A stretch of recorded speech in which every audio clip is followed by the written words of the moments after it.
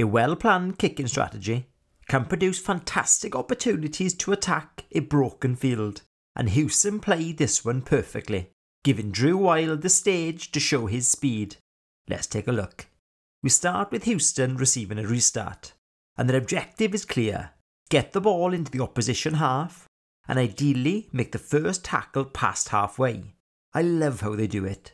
They initially make it look like a box kick setup, which typically tightens up the defence, and with Toronto taking the bait, Schmidt and Povey shift the ball open to Wild, which brings the Toronto defence forward, meaning that there's more space in the backfield, and the defence have got further to run to get back. The kick from Wild is perfect. It's within the 5 metres, it hits grass, and that gives the chase plenty of time to get after it. Houston actually crossed the 10 metre line by the time the ball is fielded. The outcome of this is that Toronto have very few options, and although they have a go at Houston for three phases, they end up being forced to kick.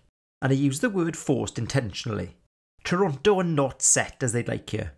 They're around 25 metres from touch, when ideally they'd be 15 metres wide, which creates a wide blindside for Houston to attack, which is made even worse by the fact that they've only got three chasers, when really they need four in that kind of space.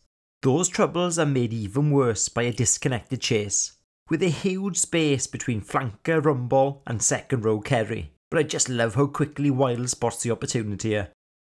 As soon as he catches, he's already stepping to evade Deshaun Bowen, and then it's just about acceleration to take the space gifted by the Toronto chase.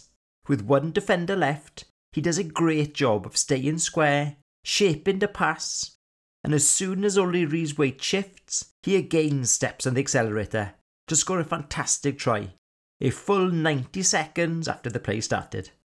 Thanks for watching.